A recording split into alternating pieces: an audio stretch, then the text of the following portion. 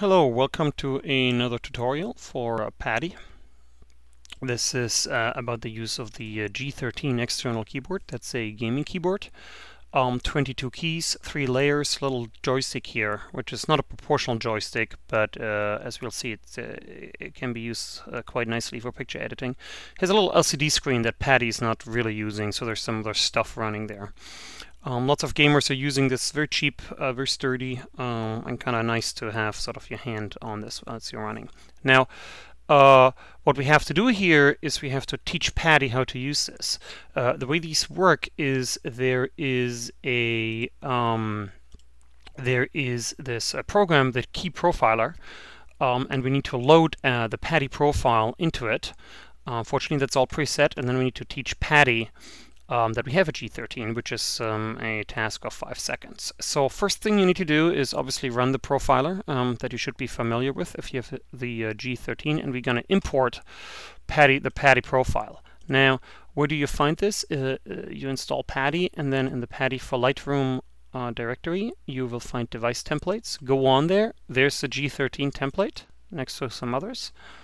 You copy the path. Um, uh, un unfortunately, this thing is not drag and drop, so I can't just take this and drop it here, as you can see, so I need to remember the path. So we copy the path, no big deal. Go to Profile, Import, um, and you paste the path here, and then you should see the padi.lgp. Uh, and we're almost set. Now, very important, two things. We need to um, do some settings that are impossible to do in these profiles. One is edit profile settings, we need to teach it where we find Adobe Lightroom. Um, typically, you find Adobe Lightroom on the uh, C drive, under Program Files, Adobe, Lightroom 4.2. You can see this is 4.2. Here's Lightroom Extra, that's what you want. Um, so if you upgrade to 4.3, 4.4, and, and, and whatever else comes next, we will need to update this link. There's no way around this, unfortunately. Um, the other thing, very important, you need to lock your profile while um, game is running. Our game is Lightroom, so we, we need to lock this while Lightroom is running um, because Paddy's running as well. So this thing sometimes gets confused of what is what is on top. So best to just lock it. Whenever Lightroom is on, this profile is going to be active. Uh, hit OK, and we're done on this one. I'm going to hide the profiler. Obviously, we need to run this when the G13 is running, so don't forget to either put this in the auto start or start it whenever you want to use it. Okay, going into Paddy uh, very quickly. Paddy preferences basic setup. Here we find our external keyboard options. And we have to make sure that the Logitech here is uh, clicked on. As you can see, I'm using it with the X keys together.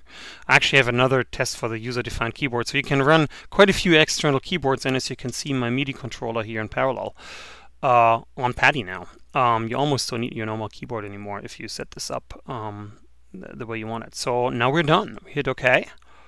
In Assign, we have the G13. Here it is, three layers. Um, the setup here is keys 1 through 22. Here's a little joystick, and I can click on these and I can start assigning, but what's even cooler is I can just hit a key here, key 1, key 2, I can move the joystick, and you can see it moves to the uh, respective keys. So, uh, quick example, um, on key 1, let's just uh, say we select uh, temperature. Okay, key two. Um, key two. We select the uh, tint. Okay, and then in layer one joystick up, I'm going to move the selected slider up medium, and joystick down, I'm going to move it down medium. Hit OK. All right, G1. We selected the temperature. Move it up. There you go. Moves up. Moves down nicely in five intervals. Those are the Paddy intervals. If you want to change this, you have to go to Assign, Preferences, Slider Move Delta. So you can see our medium is 5 here.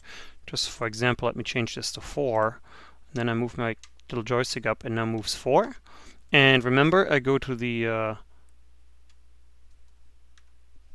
I have, I have several layers here. I haven't assigned this, I just realized. So I go to Assign, G13, second layer, key up, I actually my my layer one was medium, so say my second layer I want to move this uh, up a small portion, down, and my second layer I want to move it uh, this one. I want to move it down a small portion. There you go. So second layer, now we're moving up. This is a JPEG, hence this temperature range. Um, first layer, I'm moving down the larger uh, intervals, and you can use the third layer as well. Let's see whether these are just example pictures I'm using to test, but I think it's an NEF, so quite screwed up actually from testing. So there you go. Uh, first layer, select the temperature. It moves up as you can see in reasonably large intervals. Select the tint. I'm moving my tint here all, and if I'm if I was a gamer, I would actually probably be able to do this with a joystick. Uh, as it is, um, uh, not quite that skilled, but it does work.